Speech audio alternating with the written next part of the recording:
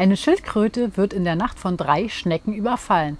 Als sie dem Polizist erzählen sollen, was passiert ist, seufzt sie und sagt, Ach, Herr Inspektor, es ging alles so schnell.